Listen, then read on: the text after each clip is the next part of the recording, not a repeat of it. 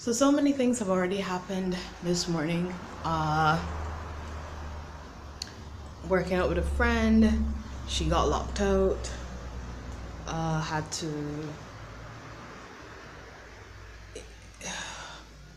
In summary, I know I haven't really said anything, but I have to go do something like really shortly, so to like stay and talk about it will take a longer time.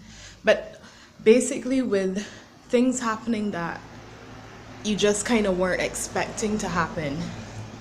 And it happens all the time like i mean over the years especially last four years or so i've learned to roll with the punches going and coming because if you don't you will just dissolve at sometimes.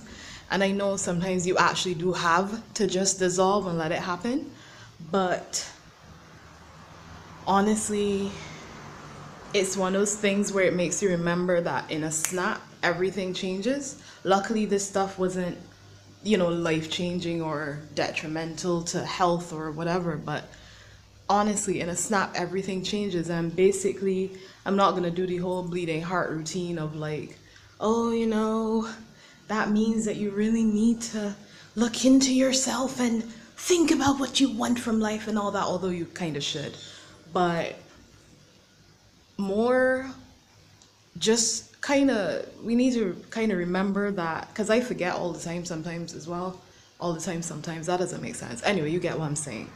Um we forget that life is literally a heavyweight and it will throw the best punches at you constantly. We will be just there standing and then suddenly it's like bam! Yeah we're just yeah. But the funny thing is, at the same time, life wants to help us. It really does. Like, it literally conspires to help us. But we're usually so busy deciding that it hates our guts that we just kind of miss out on the fact that it's helping us. If you know how many times I've thought that something was a bad thing that happened, like I've thought like it was a super punch or whatever, and it just turned out to be the best thing that could have happened. Maybe not the best, but you know what I mean? Like it turned out to be like where I was like, you know what?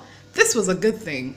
You know, like like that person that you thought was your bestie for life and then shit went down or you know the the the I don't know, the job that seemed perfect and then you didn't get it you know things like that like we think oh my god this is so awful but then when you look back sometimes it's kind of like this all happened for a reason.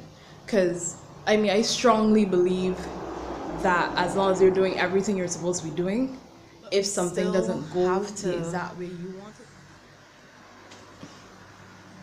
just keep on keeping on and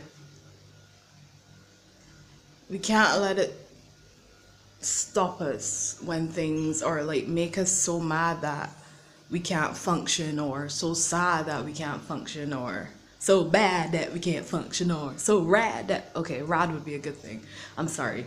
Okay so i'm gonna go for now because i'm gonna go take a friend somewhere and i'm kind of late as i'm talking to you. So I hope you guys have a really good day. I really do. Um, today for me is a lot of work because it's early morning right now. So I did film some last night, but I fell asleep. So there you go. But um, I hope you guys have a really good day. And if you're seeing this late in the evening, you know, when it gets up or whatever, then, or maybe even a day, days from now, just be good. You know, be good, guys. Be good we are trying. To get through.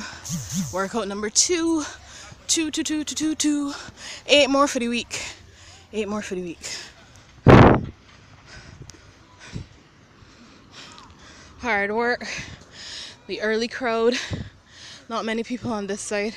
There should be more a little later, but for now, yeah, the hard work, hard work.